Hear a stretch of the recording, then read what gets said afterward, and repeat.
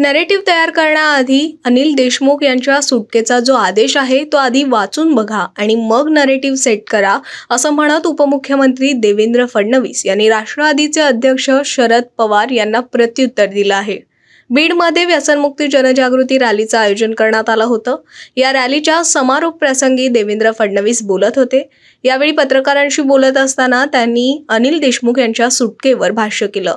Narrative तयार करायच्या आधी अनिल देशमुख यांच्या सुटकेचा जो आदेश आहे तो आधी वाचून बघा आणि मग नरेटिव्ह सेट करा असं म्हणत फडणवीसांनी शरद पवारांना प्रत्युत्तर दिलंय. संजय राऊत आणि अनिल देशमुख यांच्या संदर्भात तपासी यंत्रणांचा गैरवापर या संदर्भात शरद पवारांनी केलेला केलेल्या वक्तव्यावर देवेंद्र फडणवीस यांनी हे प्रत्युत्तर दिलंय. जम्मू आणि काश्मीरमध्ये दहशतवाद्यांविरोधात विशेष मोहीम राबवण्यात येत आहे. या मोहिमेअंतर्गत गेल्या वर्षभरात म्हणजेच दोन हजार बावीसमध्ये एकट्या काश्मीर झोनमध्ये तब्बल एकशे बहात्तर दहशतवाद्यांना कंठस्नान घालण्यात सुरक्षा दलांना यश आलंय. काश्मीरच्या डीजीपींनी दिलेल्या माहितीनुसार सरत्या वर्षात काश्मीरमध्ये तब्बल त्र्याण्णव एन्काउंटरच्या यशस्वी कारवाया करण्यात आल्यात. डीजीपींनी त्यांच्या ट्विटर अकाउंटवरून वर्षभरात करण्यात आलेल्या कारवायांची माहिती दिली आहे.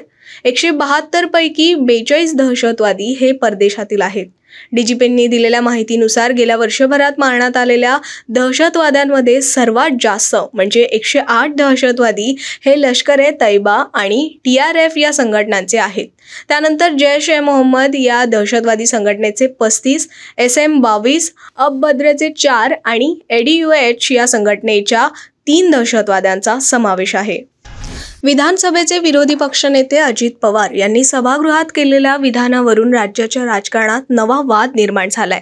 छत्रपती संभाजीराजेंना धर्मवीर नको तर स्वराज्य रक्षक म्हणा असं विधान अजित पवारांनी अधिवेशनादरम्यान केलं होतं. तर त्यांच्या या वक्तव्यावरून सत्ताधारी पक्षातील नेते आक्रमक झाले असून त्यांच्या विरुद्ध आंदोलनही करण्यात आलं. याच मुद्द्यावर भाजपचे नेते नितेश राणे यांनी ट्विट करत अजित पवारांवर निशाणा साधलाय. अजित पवार यांच्या विधानाचा समाचार घेत नितेश राणे यांनी ट्विटरवरून निशाणा साधलाय. नितेश राणे म्हणाले की धरणवीरला धर्मवीर कसं समजणार?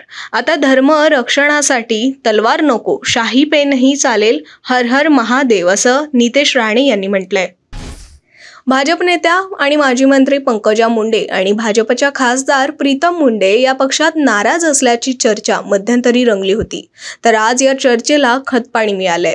कारण बीडमध्ये आयोजित कार्यक्रमाला उपमुख्यमंत्री देवेंद्र फडणवीस आणि भाजपचे प्रदेशाध्यक्ष चंद्रशेखर बावनकुळे आले असताना मुंडे भगिनी मात्र होम ग्राउंडवरच गैरहजर राहिल्याने राजकीय चर्चांना उधाण आलंय. सरत्या वर्षाला निरोप आणि नवीन वर्षाच्या स्वागताच्या पूर्वसंध्येला बीडमध्ये व्यसनमुक्ती जनजागृती रॅली काढण्यात आली. स्वर्गीय अण्णासाहेब पाटील प्रतिष्ठान आणि शिवसंग्राम संघटनेच्या वतीनं या रॅलीचं आयोजन करण्यात आलं. या कार्यक्रमाला उपमुख्यमंत्री देवेंद्र फडणवीस तसंच भाजपचे प्रदेशाध्यक्ष चंद्रशेखर बावनकुळे हजर होते. पण बीडमध्ये कार्यक्रम असूनही खासदार प्रीतम मुंडे आणि पंकजा मुंडे मात्र गैरहजर राहिले त्यामुळे चर्चांना उधाण आले काँग्रेस पंतप्रधान पदासाठी राहुल गांधी यांच्याकडे पाहत असताना आम आदमी पक्ष अरविंद केजरीवाल यांना पुढचे पंतप्रधान म्हणून प्रोजेक्ट करतायत. तर तेलंगणातील केसीआरही डोळे लावून बसले असून पश्चिम बंगालच्या ममता बॅनर्जी सुद्धा संधीच्या शोधात आहेत.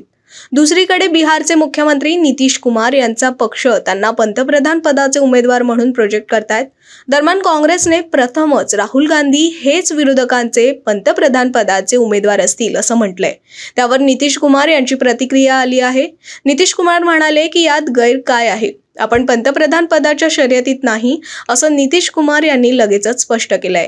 राहुल गांधी यांचा दौरा संपला की सर्व विरोधी पक्ष बसून चर्चा करतील असंही त्यांनी स्पष्ट केलं. तर दुसरीकडे राहुल गांधी यांनीही आज पत्रकार परिषद घेऊन इतर विरोधी पक्षांसोबत एकत्र काम करण्याचे संकेत दिले आहेत. आता सर्वात आधी बातम्या मिळवा आमच्या मोबाईल न्यूज ॲप्लिकेशनच्या सहाय्याने.